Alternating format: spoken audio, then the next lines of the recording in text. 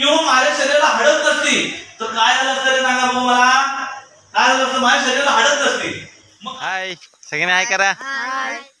नमस्कार मित्रांनो मी कोकणचा नानू आपल्या यूट्यूब चॅनलमध्ये तुमचं पुन्हा एकदा स्वागत करतो. तर मित्रांनो आज आपण मी ज्या शाळेमध्ये शिकलो त्या शाळेमध्ये जाणार आहोत आणि ही ही सुद्धा मुलं त्याच शाळेमध्ये जातात. आपल्या शाळेचं नाव काय आहे? जिल्हा परिषद आदर्श केंद्र शाळा आसूद नंबर एक.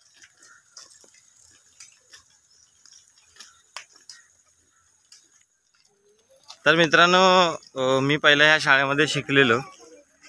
अगदी लहानपणापासून पहिलीपासून ते सातवीपर्यंत ह्या शाळेमध्ये माझं शिक्षण झालं.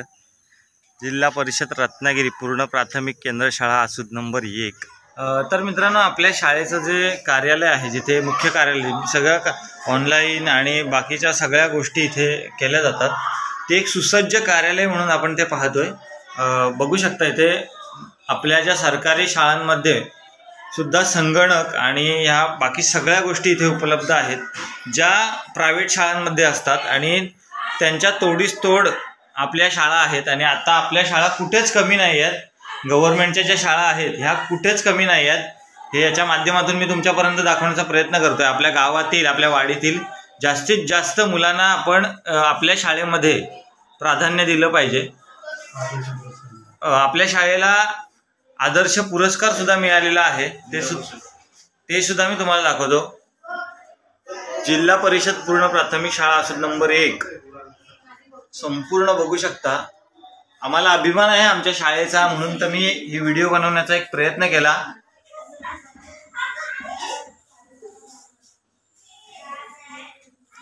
आपल्या मॅपबद्दल सुद्धा इथे माहिती आहे. म्हणजे आपण ज्या तालुक्यात राहतो त्याची मुलांना माहिती असावी. ती सुद्धा इथे व्यवस्थित मांडणी अशी. बसा सगळ्यांनी. किती वेळा जाईल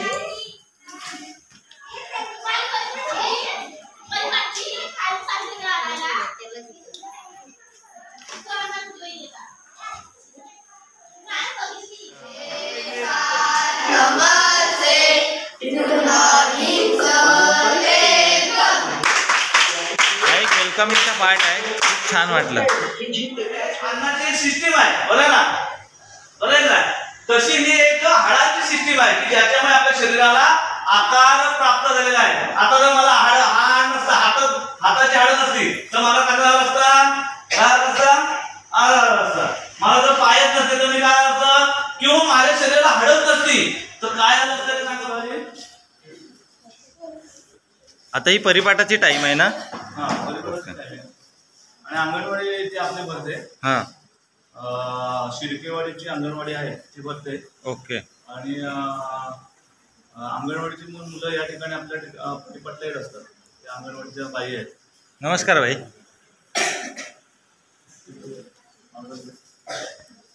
एक साथ सावधान के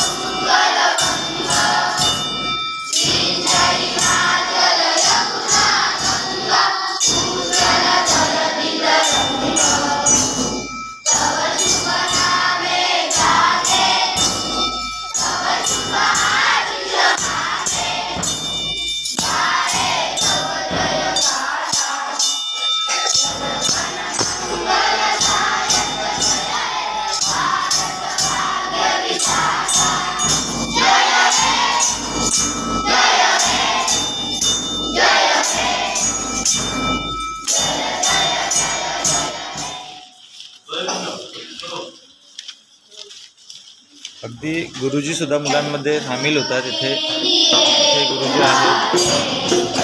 बाई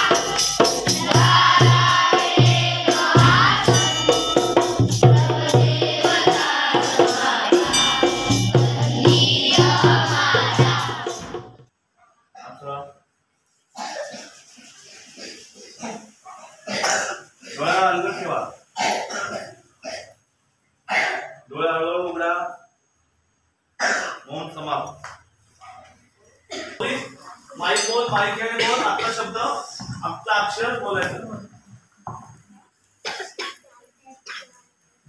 हे तेल नाही टाकत आहे गं? काकी काकी आजचा आपल्याला मी करून T I T L E title म्हणजे परि- शीर्षक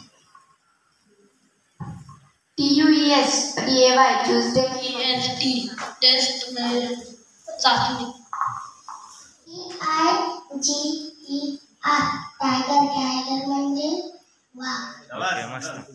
ओके. परंतु हा ज्ञानकुंभ प्रार्थना परिपाठला घेण्यामागचा उद्देश असा आहे की त्या ज्ञानकुंभामध्ये ज्या चिठ्ठ्या असतात हां. म्हणजे विविध विषयांवर आधारित चिठ्ठ्या असतात. आणि त्यातली एखादा विद्यार्थी या ठिकाणी बसलेला असेल कोणताही नंबर बोलायचा तो विद्यार्थी वर्गातला येणार चिठ्ठी उचलणार आणि त्या ज्ञानकुंभाची चिठ्ठी जी उचलल्यानंतर त्या चिठ्ठीमधून जो विषय असेल त्या विषयाबद्दल आपले मत व्यक्त करणार. ओके. आणि त्याच्यानंतर आमच्या या ठिकाणी बसलेले जे विद्यार्थी आहेत. ते प्रत्येक आपल्या आपल्याला ज्याप्रमाणे सुचतं त्यांना सुचतं त्याप्रमाणे ते विषय विषयाची मांडणी करत असतात किंवा विषय सांगत असतात. एक एक वाक्य सांगतात.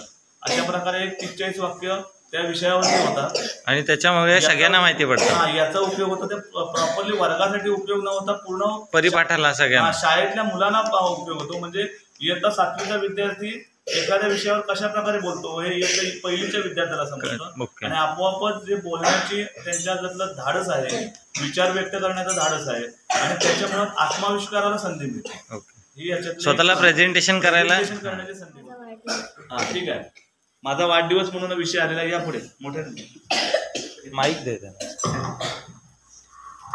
त्याचा विषय आला आहे माझा वाढदिवस. ठीक आहे. शांतपणे बोल. माझा वाढदिवस मे महिन्यात असतो. माझा वाढदिवस वाढदिवस असल्याला मला खूप छान. ठीक आहे. माझा वाढदिवस या विषयावरती माझा वाढदिवस या विषयावरती आदित्यने सुंदर आपले विचार व्यक्त केले नाही. म्हणजे त्याच्या परीने. यानंतर आपल्याला माझा वाढदिवस याच्यावरती प्रत्येकाने विचार व्यक्त करायचा आहे. चला सुरू करा. एकेकाने विचार सुरू. चला सुरू. मोठ्याने बोला. बोल. भेट होती. काय.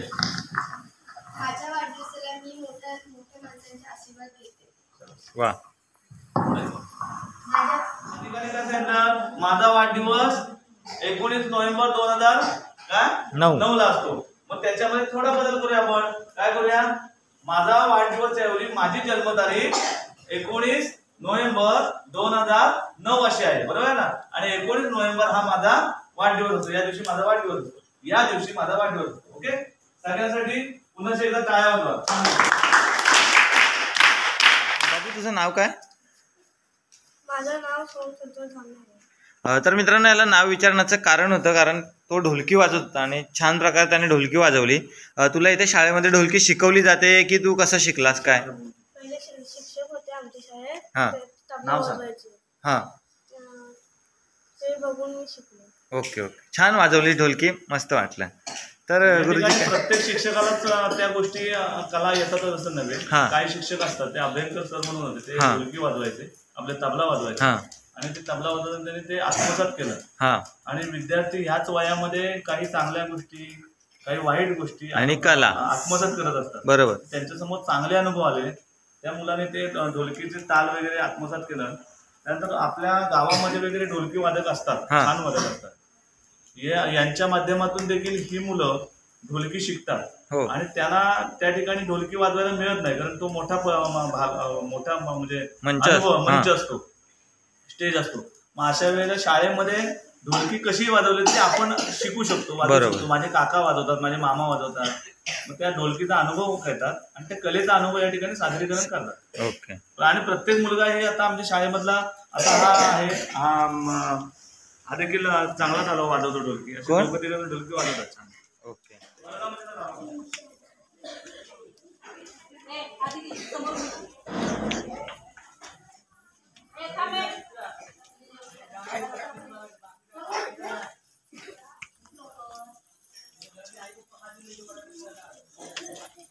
तर आता त्यां- म- मुलांचा इथे परिपाठ तर मित्रांनो आपण ह्या आमच्या ज्या शाळेमध्ये जी मुलं आहेत त्यांच्या पालकांशी आपण थोडंसं बोलणार आहोत. त्यांच्याकडून जाणून घेणार आहोत की आपल्या शाळेमध्ये मुलांना शिक्षण कशा प्रकारे मिळतं त्यांचं त्यांच्यामध्ये घरी गेल्यावरती त्यांना बदल काय काय जाणवतात ते आता आपण त्यांना विचारणार आहोत. दादा आपल्याला तुमचं नाव सांगा आणि मुलाचं पण नाव सांगा आणि तुम्हाला मुलाचं बदल घरी काय काय वाटतात ते पण सांगा आणि शिक्षण कसं वाटतं? माझं नाव शशिकांत सदैव रामले. मुलाचं नाव वेद शशिकांत रामले. वेदचे पप्पा. वेदचे पप्पा. ओके. हे म- शिक्षण चांगलं आहे. हां. मुलाचं. शि शिक्षण वगैरे शिकवतात एवढं चांगलं आहे. व्यवस्थित अभ्यास वगैरे करतात ओके. अं, काका तुम्हाला कसं वाटतं? आपल्या शाळेबद्दलचं काय थोडासा अनुभव आणि आपल्या शाळेचं शिक्षण एकदम उत्तम दर्जाचं आहे. हां? शिक्षक चांगलं त्यांच्या मुलांचं शिक्षण चांगलं व्यवस्थित घेत आहे हं, त्यामुळे आम्हाला जास्त शिकवायची गरज नाही. गरज लागत नाही. आणि घरी मुलांमध्ये थोडासा बदल तुम्हाला जाणवत असेल. हा शाळेतनं मुलं आली की डायरेक्ट नाश्ता विष्टा करतात आणि डायरेक्ट अभ्यासालाच बसतात. ओके आपल्याला वेगळं सांगायची गरज लागत काही नाही. काही गरजच नाही आम्हाला. म्हणजे आपल्या शाळेला जास्त प्राधान्य अजून आपल्या लोकांनी दिलं पाहिजे जेणेकरून जास्तीत जास्त मुलं आपल्या शाळेत शिकायला काय येतील. आहे पाहिजे. बरोबर. आता तुमचं काय मत आहे आपल्या शाळेबद्दल आणि मुलांबद्दल? शाळा चांगली आहे एकदम. हं, व्यवस्थित आहे. मुलं व्यवस्थित अभ्यास करतात. ओके. बाकी तुम्ही काय सांगाल? आणि तुमच्या पाल्याचं नाव सांगा तुमचं नाव सांगा. माझ्या पाल्याला साई शिंदे. हां. बाकी काय शिक्षण वगैरे चांगलंच आहे. हां. सर वगैरे चांगले शिकवतात. आणि आपल्या शाळेमध्ये जो बदल झाला आहे त्याच्याबद्दल तुमचं काय म्हणणं आहे? माझं चांगलंच आहे. कारण पहिली आपली शाळा कशी होती तुम्हाला माहिती आहे. मुलं येत नव्हती शाळेत ह्या होय, होय. आता मुलं येतात. Okay okay. बाकी छान वाटलं अ, आपल्या शाळेमध्ये चांगलं शिकवलं जातं चांगल्या दर्जाचं शिक अ, म्हणजे शिक्षण मिळतं मुलांना. आणि ज्यावेळेस आम्ही इथे शिकलो ना त्यावेळेस खूप वेगळी होती शाळा आणि आता जो आम्ही बदल पाहतोय ह्या सगळ्या पालकांचा जो उत्साह आहे त्यांच्याबद्दल मुलांचं जे मत आहे ते खूप चांगलं झालेलं आहे. ह्या सरांमुळे शिक्षकांमुळे आणि ह्या शाळेमुळे. तर धन्यवाद तुमचे दादा तुम्ही आपल्याला दोन शब्द सांगितलेत. थँक्यू नमस्कार गुरुजी. हो नमस्कार. गुरुजी आपल्या या शाळेबद्दल माहिती सांगा तुमचं नाव सांगा. मी महेश पांडुरंग जिमवणेकर. हां. या शाळेमध्ये पदवीधर शिक्षक पदावरती कार्यरत आहे. आमच्या मुख्याध्यापिका सौ नेहा सुर्वे मॅडम आहेत. आणि त्या आज व्हिजन दापोली म्हणून पंचायत समितीचा उपक्रम आहे. आणि त्या अंतर्गत आज शिष्यवृत्ती म, म्हणजे शिक्षकांसाठी म्हणजे शिष्यवृत्तीला जे वर्ग शिक्षक शिकवतात हां. त्यांच्यासाठी आज मार्गदर्शन वर्ग आहे. त्या मार्गदर्शन वर्गासाठी त्या दापोली येथे गेलेल्या आहेत. आणि एकंदरीत आमच्या शाळेमध्ये पहिली ते सातवीचे एकूण सात वर्ग आहेत. आणि ही शाळा ही पूर्ण आसूर गावाची मध्यवर्ती शाळा आहे. या ठिकाणी गावामध्ये तीन शाळा आहेत. एक आसूद रेवाळेवाडी आसूद नंबर दोन आणि आमची आसूद नंबर एक शाळा. त्या शाळा आहेत त्या इयत्ता पाचवीपर्यंत आहेत आणि तेथून इयत्ता सहावीला शिक्षणासाठी मुलं आमच्या शाळेमध्ये येत असतात. अशी एकंदरीत आपली शाळा आहे आणि आपल्या शाळेचा आजचा पटसंख्या ही पंचेचाळीस आहे. आणि या ठिकाणी आपल्या शाळेमध्ये एकंदरीत जर तुम्ही पाहिलात पूर्णतः डिजिटल वर्ग आहे. आणि या सावित्रीबाई योजनेअंतर्गत सावित्रीबाई फुले दत्तक पालन योजनेअंतर्गत येथील ग्रामस्थांनी आपल्या एका एका मुलीला प्रत्येकाला दत्तक घेतलेलं आहे. आणि प्रत्येक विद्यार्थिनीला या योजनेअंतर्गत दर वर्षाला तीनशे रुपये मिळतात त्याच्या शिक्षण शैक्षणिक खर्चासाठी. अशी आपली शाळा म्हणजे इथल्या मुलींना मोफत शिक्षण मिळतं. गुरुजी इथल्या पालकांचं काय मत आहे आपल्या शाळेबद्दल शिक्षणाबद्दल? आपल्या त्याच्याबद्दल- पालकांचं मत पॉझिटिव्ह आहे सगळेजण पॉझिटिव्ह आहे. ओके. आणि अ, एकंदरीत अ, आत- अ, म्हणजे आपण म्हणतो काळानुरूप बदललं पाहिजे. होय होय. आणि त्याप्रमाणे काळानुरूप बदलण्याचा आम्ही प्रयत्न करीत आहोत. म्हणजे शिक्षक तुम्हाला म्हणजे जे पालक आहेत ते तुम्हाला येऊन भेटतात ना की बाबा आमच्या घरी आमचा पाल्य अशा अशा प्रकारे तुम्ही दिलेलं शिक्षण आत्मसात करतोय. होय होय. सगळे आनंदी आहेत आणि मुळात म्हणजे शैक्षणिक गुणवत्ता या ठिकाणची वाढत चाललेली आहे विद्यार्थी ते कळालं कारण जे ज्या पद्धतीने तुम्ही शिकवताय ही पद्धत आमच्या वेळेला नव्हती. त्याच्यामुळे ते बघून एक बरं वाटलं.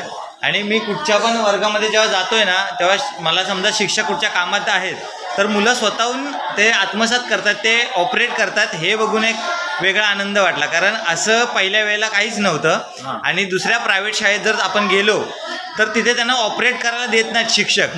बाबा तू हात नाही लावायचा आम्ही करतो. पण इथे तुम्ही स्वतःहून त्यांना ऑपरेट करायला देता ही खूप मोठी बाब आहे. आमच्या इथे आपल्या गावामध्ये म्हणजे अनेक क्षेत्रामध्ये काम करणारे लोक आहेत. त्याच्यामुळे संगणक या क्षेत्रामध्ये काही काम करणारे ग्रामस्थ आहेत पालकच आहेत. मग आम्ही टेन्शनमध्ये नसतो. की बाबा एखाद्या संगणकाचा प्रॉब्लेम आला तर ते दुरुस्त करू शकतात वा. आणि विद्यार्थ्याला आज जर ती संधी दिली तर निश्चितच त्या संधीतून तो विद्यार्थी शिकत असतो होय. आणि म्हणून आज बिंदासपैकी विद्यार्थी ऑपरेट करतात मुळात याचा आम्हाला फायदा असा होतो की विद्यार्थी आज आहे ना घरी अं, जे सोशल मीडिया आहे ते सोशल मीडियाचा दुरुपयोग न करता त्याचा सदुपयोग करतो बरोबर. हे आम्हाला पालकांच्या माध्यमातून आज अं, समजत आहे म्हणजे विद्यार्थ्याला ज्यावेळेला आम्ही अभ्यास देतो एखादा इथे या ठिकाणी युट्यूबवर जे काय आम्ही शिकवतो त्याला अं, म्हणजे सर्च करायला अभ्यास शिकवतो.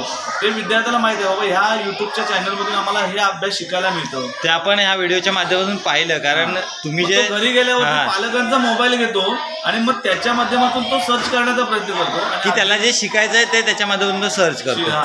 गुरुजी शाळाचा परिसर आणि शाळा तुम्ही ज्या प्रकारे केली आहे आणि मुलांना ज्या प्रकारचं तुम्ही चांगल्या दर्जाचे शिक्षण देताय हे पाहून खूप बरं वाटलं. येथील सर्व ग्रामस्थ शाळा व्यवस्थापन समिती सदस्य आमचे त्याचप्रमाणे ग्रामपंचायत आमची आसू ग्रामपंचायत तसेच इथलं जे ग्रामस्थ मंडळ आहे त्याप्रमाणे पालक वर्ग आहे.